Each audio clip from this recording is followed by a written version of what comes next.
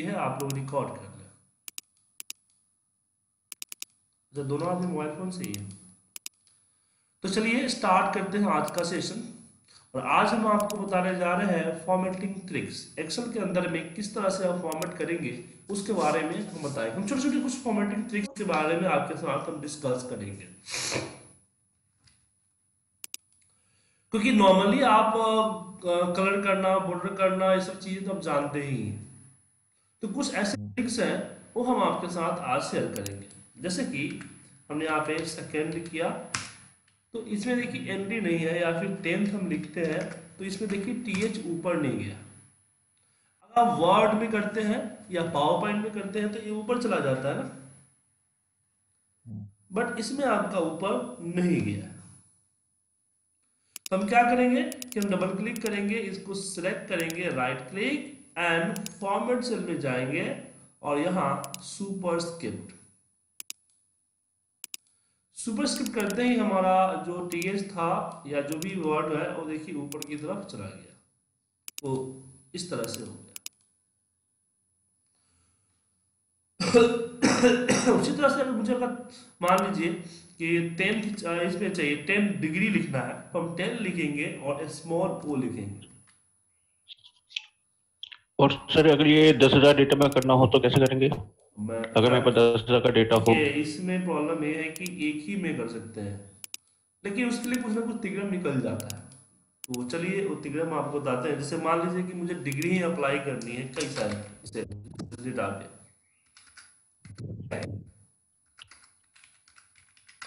तो एक एक करके मैं वहाँ पे तो नहीं जाऊँगा क्योंकि काफ़ी अगर मान लीजिए हज़ार दो हज़ार डेटा हुआ तो काफ़ी प्रॉब्लम हो जाएगी ना सर? तो ऐसा हम क्या करेंगे कि हम देखिए बताते क्या करेंगे। हमें अगले वाले कॉलम में स्मॉल ओ लिखते हैं। और इसको मैं यहाँ से इसको ऊपर कर देता हूँ और यहाँ से साइड कर देता हूँ। और इसके ऊपर जाके हम सुपर स्क्रिप्ट अप्लाई करते हैं। छोटा हो जाता है।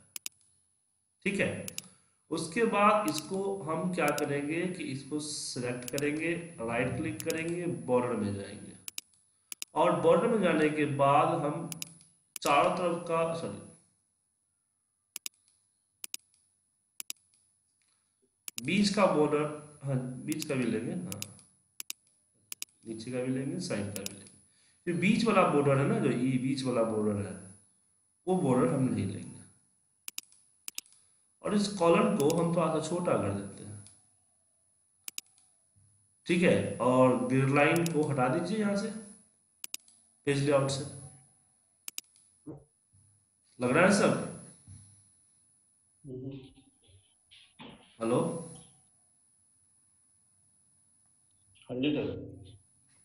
तो लग रहा है ना सर तो इसी तरह हाँ। इसी तरह का ट्रिक्स के बारे में हम आपके साथ डिस्कस ओके ठीक है?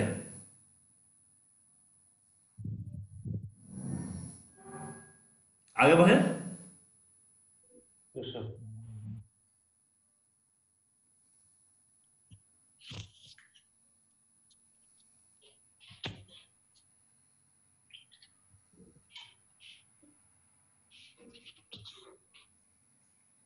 तो ये सर ये सेकंड और टेंथ में भी ऐसे ही कर सकते हैं मतलब कोई दूसरे उसमें लेके फिर उसको हम बॉर्डर को हाइड कर सकते हैं।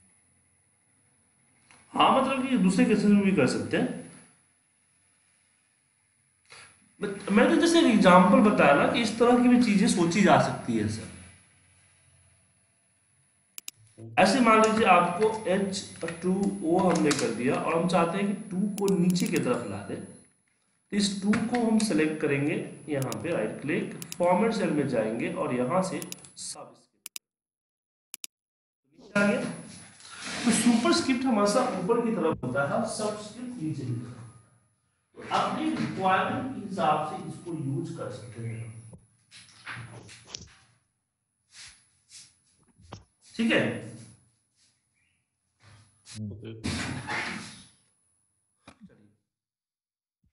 इसमें आप अगला टॉपिक हम बात करते हैं। अगला टॉपिक हमारा बॉर्डर से ही है। मान लीजिए कि आ, हमने कुछ आ, हमें कुछ नंबर लिखते हैं। कुछ नंबर लिखेंगे मतलब उससे पहले अगर मान लीजिए हमने कुछ टेक्स्ट लिखा आप टेक्स्ट क्या लिखेंगे? तो एक मिनट मैं किसी मेल से ही उठा लेता हूँ। इसी में से कुछ उठा लेता हूँ। मान लीजिए, ये ये हमने टेक्स्ट यहाँ उठा लिया। लेकिन दिख तो नहीं रहा है। इसके हाइपरलिंक में हटा देता हूँ, नहीं तो क्लिक हो जाएगा।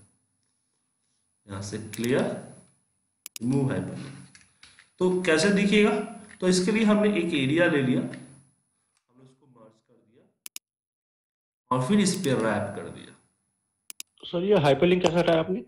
यहाँ होम मेनूबार में क्लियर होता है ना? क्लियर में रिमूव हाइपरलिंक या clear hyperlink okay okay okay ठीक है? ठीक है सर इस साइज़ में छोटा कर देता हूँ। दस कर देता हूँ। देख एक बड़े से टेक्स्ट को हमने इसमें यूज़ कर लिया। ठीक है? तो इस तरह से भी इसका यूज़ कर सकते हो। दूसरी चीज़, मान लीजिए कि इसमें कोई गलत है, मान लीजिए कि ये नंबर गलत है तो मुझे बताना है कि दिस इज़ नंबर गलत है आपका। तो उतने एरिया को सेलेक्ट करके राइट क्लिक कीजिए फॉर्मेट सेल पे जाइए और यहाँ पे स्टिक थ्रू कर दीजिए। तो इस तरह से कटा हुआ आपको दिखेगा।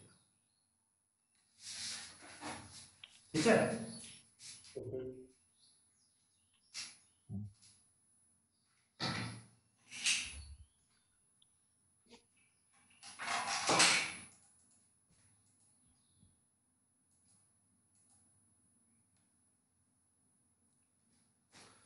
ओके आगे बढ़े सर। चलिए। लेकिन अगर मान लीजिए कुछ लिस्ट ऑफ़ नंबर है आपके मान लीजिए इसी नंबर को हम यहाँ पे लिस्ट कर देते हैं। तो अगर उस लिस्ट ऑफ़ नंबर आपका है और उस लिस्ट ऑफ़ नंबर में मुझे देना है कि ये गलत है तो उसमें ये जो फीचर्स मैंने बताया, ये फीचर्स करेंगे तो फिर दिक्कत हो जाएगी, क्योंकि ये फीचर्स समझ में नहीं आएगा। उतना खास इफ़ेक्ट नहीं देगा। नहीं दिया सर। तो मुझे कुछ ऐसा चाहिए ताकि पता चले कि हाँ दिस इज़ द रॉन्ग एक सही इफ़ेक्ट दे। तो राइट क्लिक करके जाऊँगा फॉर्मेट सेल में, ठीक है? और फॉर्मेट सेल में हमारे पास बॉर्डर है। हम इस बॉर्डर को सिलेक्ट करते हैं, यहाँ से कलर देते हैं। और यहाँ से इसको क्लिक कर देते हैं और इसको क्लिक कर देते हैं। ओके और सही इफ़ेक्ट कर रहा है? और एफ़ एफ़ फोर होता है लास्ट एक्शन को रिपीट करता है। इस तरह से सही का निशान लगाना है तो फॉर्मेट सेल में चले जाए। फॉर्मेट सेल में आपको बॉर्डर में ही यहाँ पे हमने कलर ले लिया। हमने इसको ले लिया, इसको सिलेक्ट किया और इसको सिलेक्ट किया। ओके यहाँ पे फोर यहाँ पे ठीक है? लेकिन एक फॉर्मेट है मतलब ये फॉर्मूला है। ये इतना ज़्यादा इफ़ेक्ट नहीं करेगा। उसके पीछे रीजन है। रीजन ये है कि फॉर्म हम फॉर्मूला सॉरी फॉर्मूला में या किसी फ़िल्टर में या किसी कलेक्शन में इसको हम यूज़ नहीं कर सकते, क्योंकि फॉर्मेटिंग को एक्चुअली रीड नहीं किया जा सकता फॉर्मूला के थ्रू मान लीजिए मुझे अगर फ़िल्टर लगाना है गलत वाला तो इस तरह की फिल्ट्रेशन नहीं की जा सकती। लेकिन अगर आप चाहें तो एक काम और कर सकते कि मैं कैप्स में पी को लिखा तो हमारे पास एक फॉन्ट होता है। हमारे पास एक फॉन्ट होता है ब्रिटानिक बोल्ड का नहीं भी माफ़ कीजिएगा, ये वाइंडिंग टू होता है, सर, कि ब्रेडिंग टू होता है। डब्ल्यू से हाँ।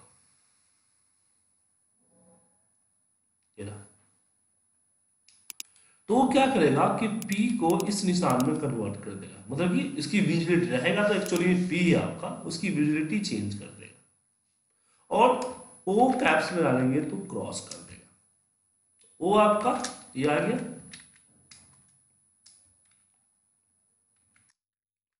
ठीक है sir? Hello yes sir without नहीं सर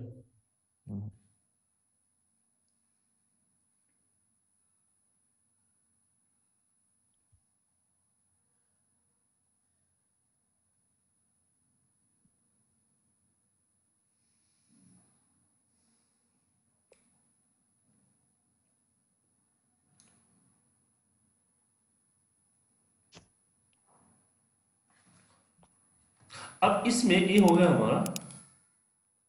अब इसमें हम बात करते हैं कि ये तो फॉन्ट है, मान लीजिए। तो हो सकता है कि किसी सिस्टम में ये मैनिंग टू नाम का फॉन्ट ना हो, क्योंकि फॉन्ट एक्सेल का पार्ट तो नहीं ना वो विंडो का पार्ट है। तो विंडो के किसी वर्जन में हो सकता है ना हो। तो उस केस में क्या करें? तो उस केस में कैप्स में जे लिखेंगे और इसके ऊपर जो है हम क्या करेंगे? यहाँ अलाइनमेंट है। अलाइनमेंट में आप माइनस फोर्टी फाइव डिग्री के एंगल पे इसको रोटेट कर दीजिए। तो ये आपका इस तरह से बन जाएगा। और क्रॉस है। अब क्वेश्चन आता है क्या रोटेशन का यही यूज़ होता है? नहीं, और यूज़ भी है। चलिए एक एग्जांपल आपको और देता हूँ। मैं एक सिंपल सा डेटा बनाता हूँ। जैसे अटेंडेंस का डेटा मान लीजिए। अटेंडेंस का डेटा हमने बनाया। और यहाँ पे हमने डेट डाल दिया।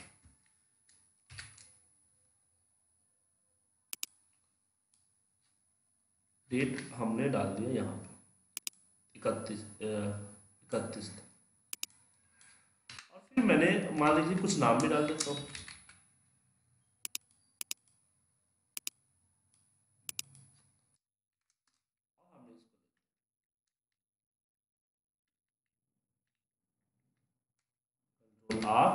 डी ठीक है? अब प्रॉब्लम ये है कि इसको एक पेज पे प्रिंट निकालना मुश्किल है, क्योंकि इसकी नहीं आ पा रहा। हम देख रहे हैं कि इसकी जो हेडिंग है, वो हेडिंग के वजह से ही हम प्रिंट एक पेज पे प्रिंट नहीं कर पा रहे। बाकी डेटा तो हमारा नॉर्मल छोटा सा है। क्या सर? एक पेज पे इसको प्रिंट करना मुश्किल हो गया है। तो मैंने उसको सिलेक्ट किया, और किया, और गया फॉर्मेट सेल में। और फॉर्मेट सेल में जाने के बाद मैंने क्या किया, इसकी अलाइनमेंट यहाँ से भी कर सकते हैं और यहाँ से भी अलाइनमेंट हो सकता है। यहाँ से मैंने रोटेशन कर दिया रोटेट कर दिया टेक्स्ट अप और फिर मैंने पूरे सीट को सिलेक्ट किया और यहाँ पे किसी कॉलम के ऊपर जाके कॉलम की जो डिवाइडर बॉर्डर होता है बॉर्डर पे जाके डबल क्लिक कर दिया। ये ऑटो फिट हो। जाएगा अब देखिए सर। अब हमारा हमारा जो डेट हेडिंग है वो हम पढ़ भी पा रहे हैं रीडेबल भी है क्या? और ए, एक पेज पे हमारा प्रिंट भी दे देगा। अब मैं इसको लैंडस्केप करूँ तो पोर्ट्रेट इसलिए नहीं दिया लैंडस्केप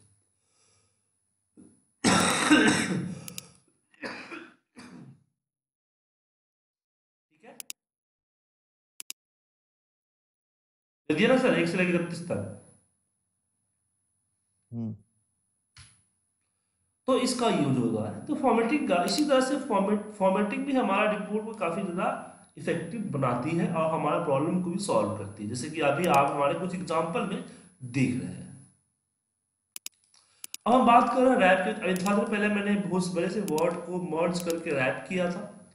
आपने भी देखा कि कैसे हमने बड़े से सेल को मर्ज किया और रैप किया। तो रैप का एक और तरीका है, जैसे कि मान लीजिए कि यहाँ पर सुजीत कुमार किया। तो रैप में क्या होता है? कि आपका जो एक कॉलम से बाहर जा रहा है उसको रैप कर दीजिएगा तो सॉरी मर्ज करिए रैप कीजिएगा तो टूट के उसी कॉलम में आ जाएगा। राइट लेकिन कभी कभी क्या होता है कि नहीं मुझे आ, क्योंकि जब मैं यहाँ से रैप पे लगाऊँगा तो क्या होगा कि वो आपके कलर और आपकी सॉरी आपकी फॉन्ट की साइज़ कॉलम की साइज़ और आपके स्पेस के अकॉर्डिंग तोड़ता है। लेकिन मुझे अपने हिसाब से तोड़ना है। तो मुझे ऑल्ट एंटर प्रेस करूँगा तो मेरा कर्सर नीचे आ जाएगा। तो ऑल एंटर शॉर्टकट होता है टाइप करते समय अगर आप रैप करना चाहते हो तो। ओके लेकिन मैं, मुझे रैप नहीं करना, क्योंकि रैप करने से हमारा रो की साइज़ इंक्रीज हो जाती है। और नहीं, मुझे ऑटो फिट करना है कॉलम की साइज़ इंक्रीज करनी है। तो हम क्या करेंगे कि फॉर्मेट सेल में जाएँगे और यहाँ हमारे पास अलाइनमेंट में ही एक होता है shrink to fit shrink to fit कर देंगे तो हमारा टेक्स्ट जो है मेरे कॉलम की साइज़ में आ जाएगा। हम अगर बड़ा करेंगे तो बड़ा हो जाएगा छोटा करेंगे तो छोटा हो जाएगा। ठीक है सर बड़ा करेंगे तो बड़ा और छोटा करेंगे तो छोटा। बाकी आप मर्ज को जानते हैं कि आप बड़े सेल को मर्ज कर लेते हैं, लेकिन मर्ज में एक और होता है क्रॉस मर्ज क्रॉस वो सिर्फ़ कॉलम को मर्ज करता है। ठीक है? अब इसकी ज़रूरत किसमें पड़ती है? तो इसमें बहुत सारे ऐसे फॉन्ट हम लोग बनाते हैं, उस फॉन्ट में फॉर्म वगैरह बनाते हैं तो उस फॉर्म पर इसकी ज़रूरत पड़ जाती है। जैसे ये देखिए यहाँ दिख रहा है सर? ये फॉर्म ने डिज़ाइन, ये हमारे इंटरनेट से डाउनलोडेड है और हमने डिज़ाइन किया ठीक है चलिए